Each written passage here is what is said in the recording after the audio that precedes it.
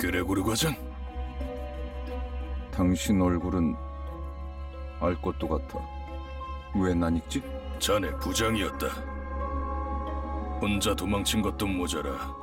이젠 옛 전우이자 내 부하 녀석들까지 죽였군. 이봐.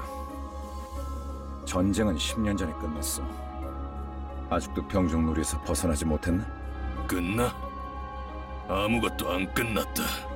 아무 것도 끝나지 않았다고.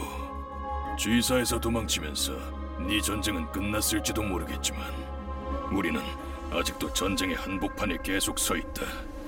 아, 이런 동질감은 갖고 싶진 않았지만 나라고 크게 다르지도 않아. 그렇다면 이해해야지, 과장. 전쟁터에서 배신자에게 내려지는 결론은 항상 똑같다고. 그럴듯하게 말하지만 복수를 위한 집결체험은 사칙 위반이야. 부장 양반.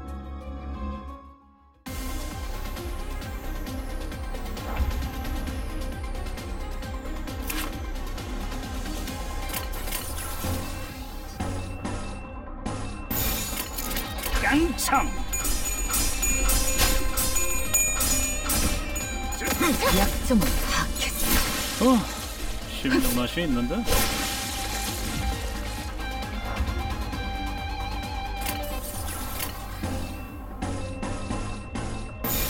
제프를 따라오십시오.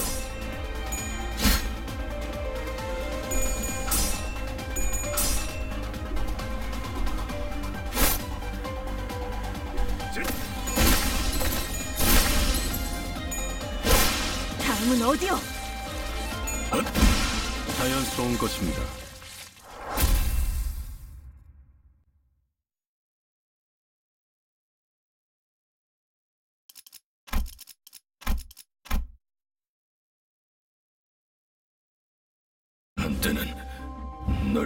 존경하는 자들도 있었지. 그레고르. 존경해달라고 부탁한 적은 없었어. 더 이상은 전진하지 마라.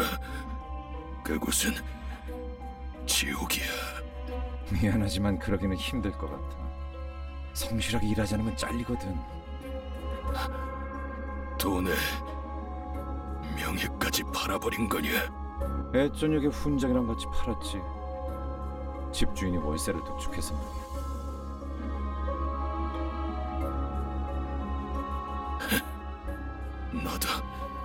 우리와 다를 것 없군. 결국 우리는 역겨운 벌레 새끼들 뿐.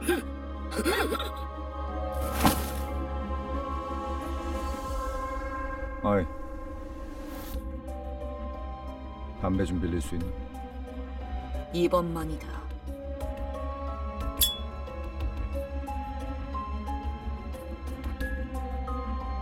미안. 저거한테 내 담배를 나눠서 물려주기는 싫었거든.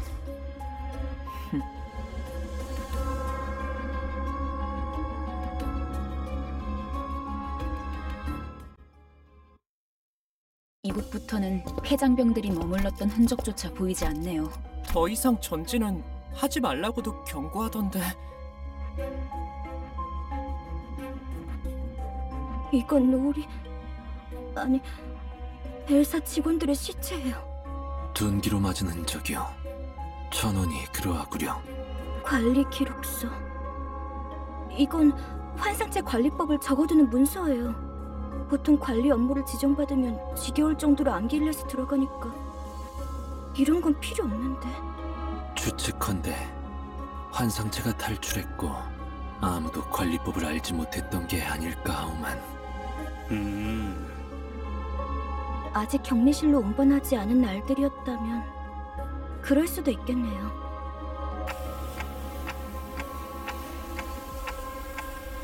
대체 어떤 환상책길래 이렇게 많은 수의 직원들이 잠깐 이게 무슨 냄새죠?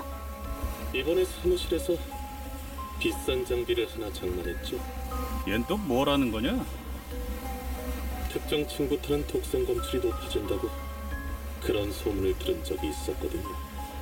나 아까부터 귀에서 피가 흐르는데 이거 괜찮은 거야? 고난 없이 어찌 전투를 지속 노출되면 신체에서 지속적으로 출혈을 일으킨다더군요. 정작 그렇게 말하는 본인은 너무 멀쩡한데? 이거 예전에 보급되었던 환상체 치압용 독성 가스탄이에요. 시체들 사이에서 폭발이라도 했나 봐요. 확실히 이 부분부터는 도끼가 꽤 진해지는군요. 뭐야, 우린 저런 거 없어? 제공되는 보급품은 따로 없었습니다. 이 새끼, 넌 일찌감치 알고 있었냐? 버러지 같은 자식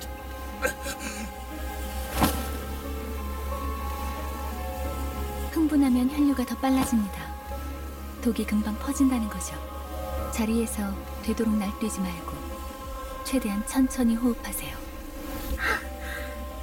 호키스 씨, 왜 미리 말을 해주시지 않으셨어요? 나야말로 물어보자 유리. 별 기대도 안 하고 들여놓은 짐짝 같은 사람한테 가뜩이나 비싼 물건을 축낼 만한 사실을 왜 알려야 하지? 냉정하게 말하면 우리 사무실에 네가 발을 들인 것도 놀라운데 아야는 널 귀엽게 봐서 챙겨주려고 했을지는 몰라도 지금은 죽었는데 무슨 상관이야? 비겁한 새끼. 그러고 살고 싶냐? 해결사에게 비겁이라니 되도 않는 말을 하네. 붉은 시선님이 데리고 다니는 이들이길래 누군지나 보려고 했더니 제대로 된 도구나 정보도 없이 여길 기어 들어오는 미친놈들이었을 줄이야. 저딴 새끼를 그냥 두고만 봐야 한다니. 그래도 덕분에 엔케팔리는 쏠쏠하게 얻어갈 수 있었어. 창피할 테니까 질식사 말고 행방불명이라고 보고해줄게. 그럼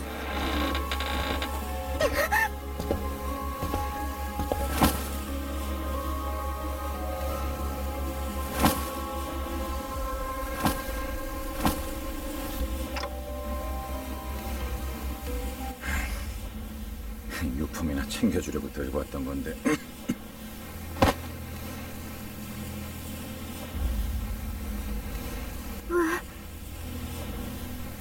아야 씨가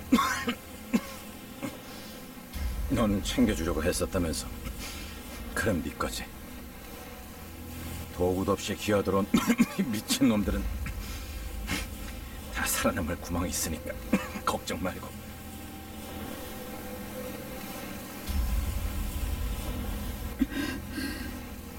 알고 있어요. 밤낮 없이 굳은 일을 도맡아봤자 아무 연고도 없이 사무실에 인정받는 게 쉬운 일이 아니란 것처럼 지부가 폐쇄될 때까지 남은 시간은 고작 3분이었고 부지 메모를 시작합니다. 제 눈앞에서 눈이 다쳐가고 있었어요. 에너지 전송 85% 완료. 유리! 날 두고 가지 마! 유리! 그럼 난 도대체 어쩌라는 거예요? 살아남은 게 죄인가요? 동료들이랑 같이 파묻히기라도 했어야 해요? 환상체들이 도시로 빠져나오면 안 된다는 이유로 회사가 통째로 폐쇄되고 있는데 죄지 이곳에선 그 말은 좀 아프네요. 그래, 고르 씨.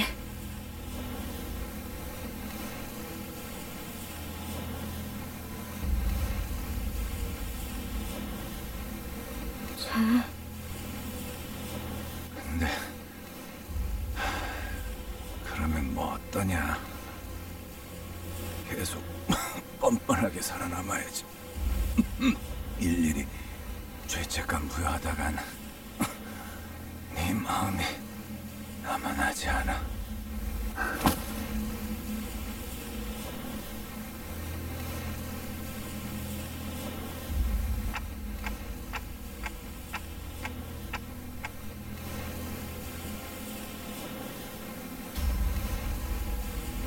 알아요.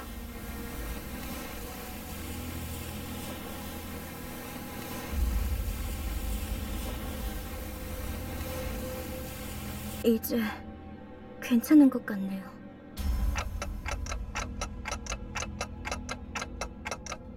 도울게요. 가서 빨리 살리고 오죠.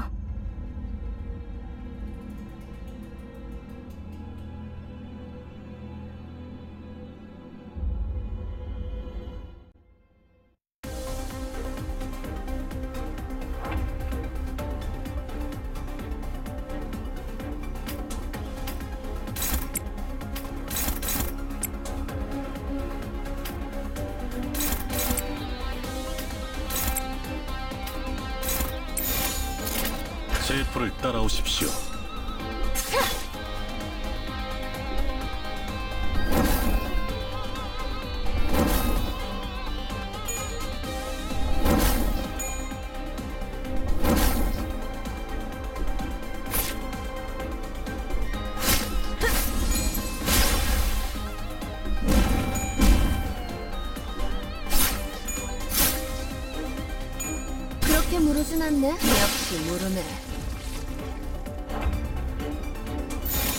맛은 있는 편이 좋은데.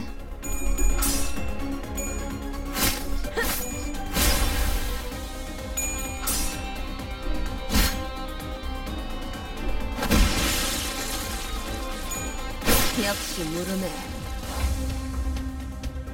제 불을 따라오십시오. 역시 무르네.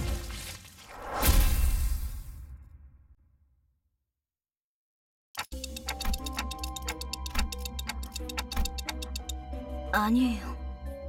아마 제 짐작이 맞다면 전방을 주시하십시오, 관리자님. 아까랑 똑같은 놈이 하나 더 있습니다.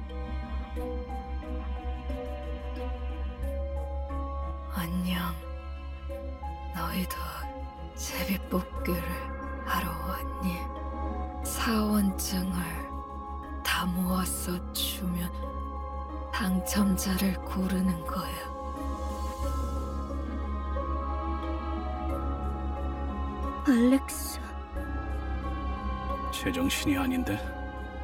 당첨자 타령은 뭐야?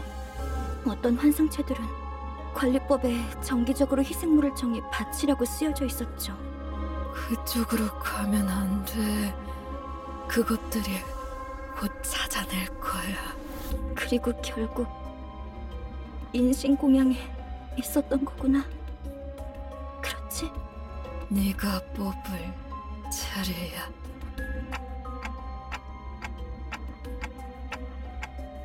인신 공양을 하지 않으면 어떻게 되는데요? 그건 몰라요. 관리법은 항상 철저히 지켜졌었거든요. 탈출해서 닥치는 대로 사람을 죽이고 다녔던 건가요? 그 환상체라는 놈 되게 졸렬한가 보네. 만나면 뒤통수를 까고 다니나 보지? 그게 무슨 말이에요? 단체로 눈이 삐기라도 했냐? 그건 사람이 낸 상처였어. 서로 한 대라도 더 때리려고 길을 썼더만. 저 등신들은 지들끼리 치고받다가 뒤진 거야. 왜, 왜 그런 건데요? 뻔하지. 지부가 무너지고 한동안은 어떻게든 살아남을 거라 생각했을 거야. 꾸준히 사람을 바치기만 한다면 언젠간 구조가 될 수도 있으니까. 제비 뽑기로 몇 달은 버텼겠지. 일단 한 놈만 죽으면 잠깐은 버틸 수 있으니까. 근데 그걸 희생자가 고지고대로 받아들이겠냐? 내가 죽을 바엔 눈앞에 있는 놈 머리통을 터뜨리겠어. 그럼 적어도 지금 내가 받쳐지는 일은 없을 테니까. 뭐 그렇게 흘러갔겠지. 그러다 마지막으로 살아남아서 그들과 같은 석상을 뒤집어 쓰고 있으면 인신 공양을 피할 수 있을 거라고 생각했군요. 그럴 리가 없어요. 알렉스는 자기가 살려고 남을 죽이는 직원이 절대... 그걸 네가 어떻게 알아? 저놈이 진짜 알렉스인지 확실하지도 않잖아. 한 가지 조언을 해줄까? 그들이 직접 데리러 오기 전에 직접 걸어가는 편이 훨씬 편할 거야. 이만 떠나지. 이제는 곧 숨을 거둘 거다.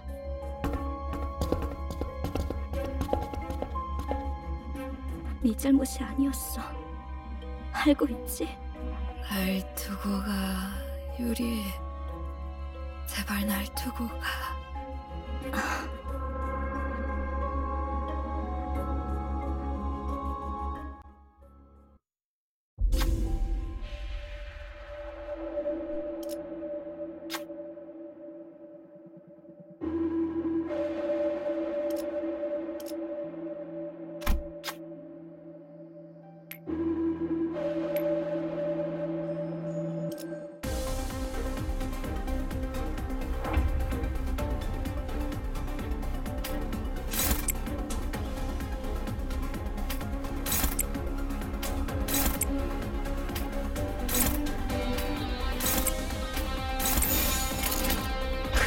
볼 수 없게.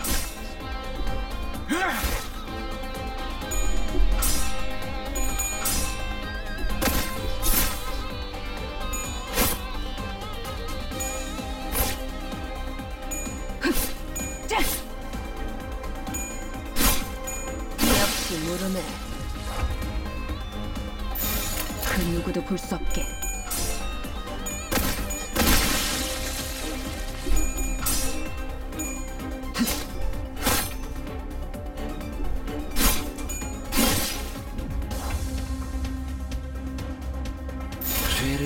주겠어.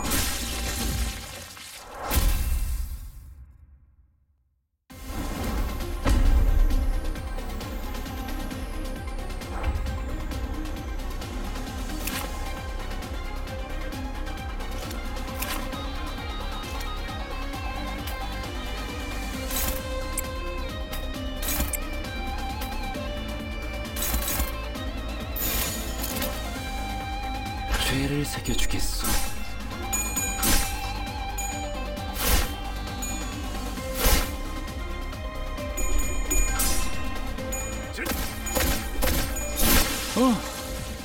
맛이 있는데? 깡청!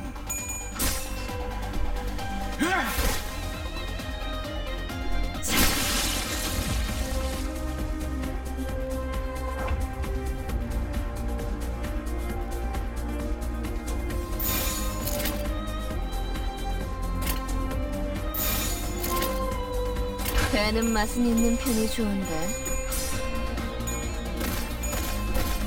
더날뛰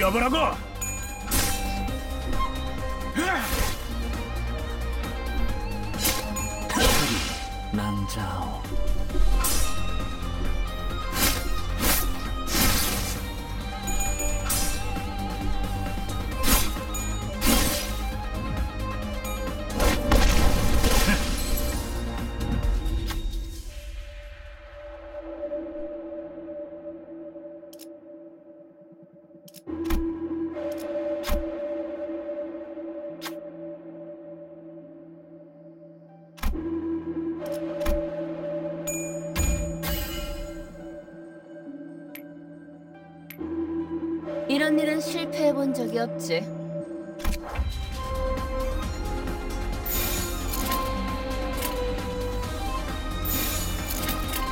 내 앞을 막을 자는 없어!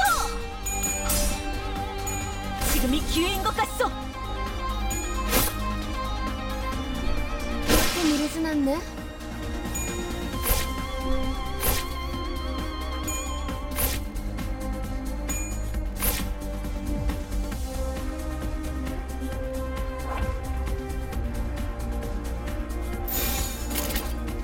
내 앞을 막을 자는 없어!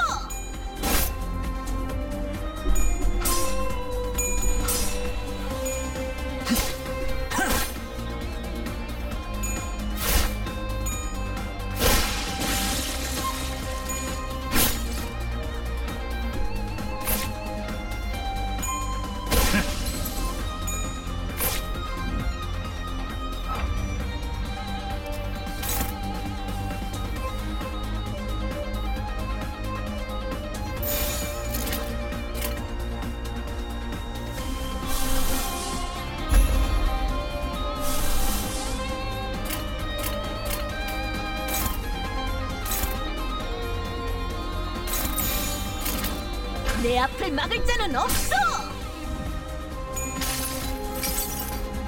내 팔은 뼈에 있었어.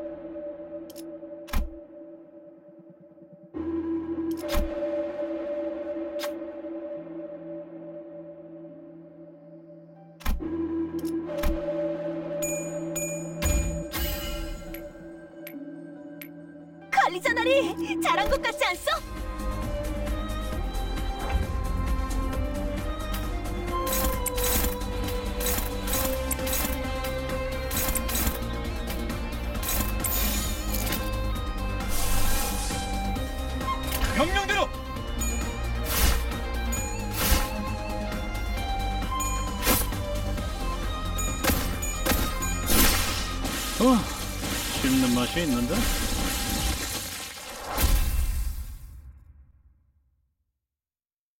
이층에는 유독 구더기들이 많이 보이네.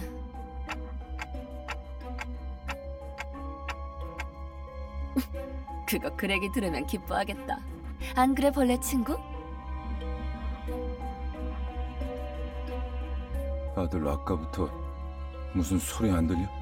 소리라면 계속 들렸잖아요.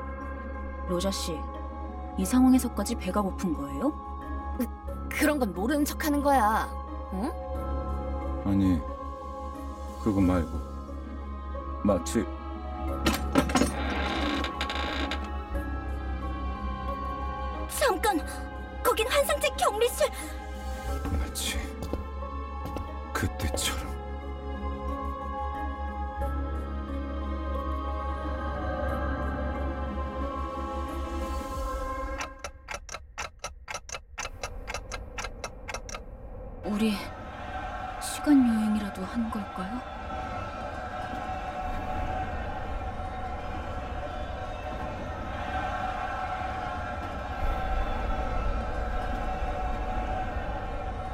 보면 모르는가. 이곳은 전장 한복판. 이건 꿈 악몽 왜 왜 또다시 그러니까 왜 전장 한복판에 있냔 말이야? 함정이라도 빠진 거 아니야? 아니요. 길을 잘 찾은 것 같군요. 멀지 않은 곳에 우리가 찾던 기술의 정수가 있습니다. 황금가지요? 네. 다들 이곳이 언제인지 알아보시겠나요? 눈이라는 게 있다면 한눈에 알아보겠지.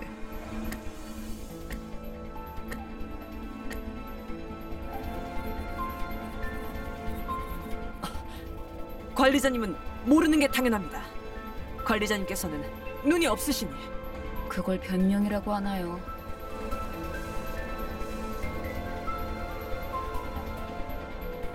소속을 과시하는 듯한 형형색색 촌스러운 깃발들이 나부끼는 걸로 봐선 연기 전쟁이 발발한 지 최소 70일 후입니다, 관리자님.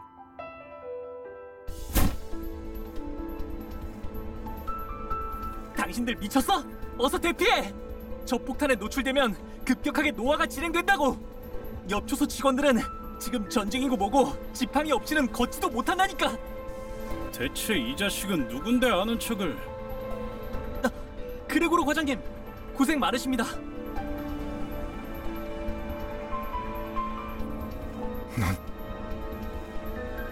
저를 모르시겠죠? 생체관리팀 토마입니다. 선발 대열에 계신 줄 알았는데 후방에 있었을 줄은 몰랐네요. 합류를 해야 하는 거면 제가 도와드릴까요? 전 다리 특화형이어서 점프에는 자신이 으, 말만 들어도 징그러워. 당신 방금 무슨 말을? 아 도마 대리 아, 아, 아 사원인가? 네, 2등 사원입니다. 어, 아, 아, 이쪽은 아직 그, 시술된 지 얼마 안 된 직원이라 그 음, 정신 착란 부작용이 해결되지 않았어. 하, 내가 잘 타이르지. 그렇군요. 아무리 그래도 전시의 준비도 안 된 직원을 아, 미안. 아, 미안하네. 내가 급히 데려갈 일이 있어서.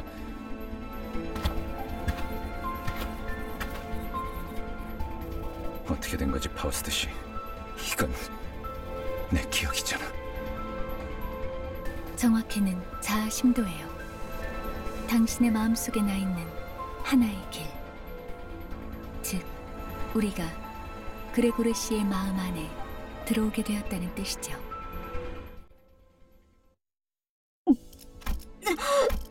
토할 것 같아요. 눈앞의 것들이 모조리 일렁이고 있어서 심압이 높아지고 있는 것 같군요.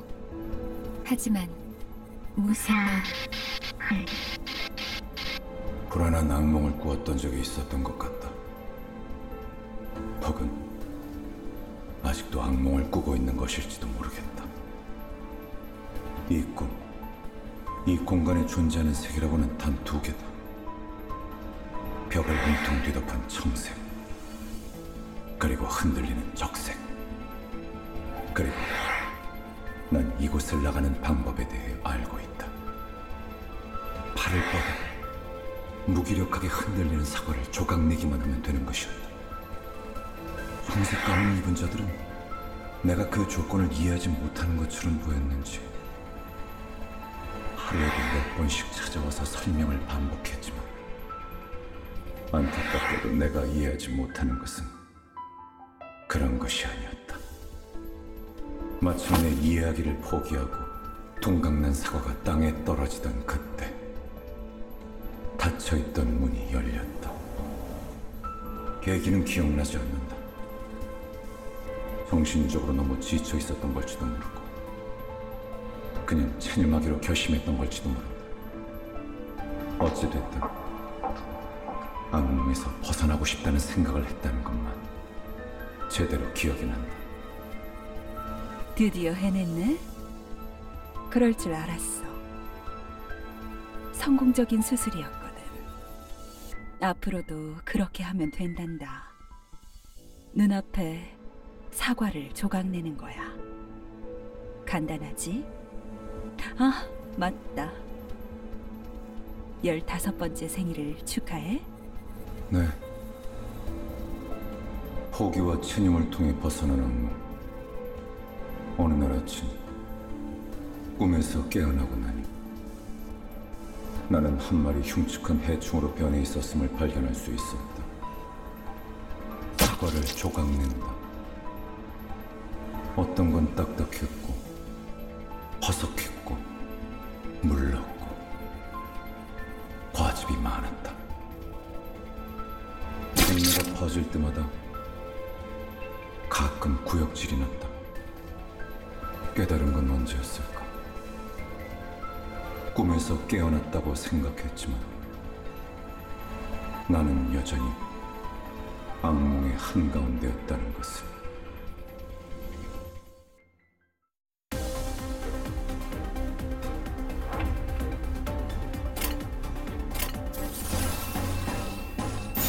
그 누구도 볼 수 없게.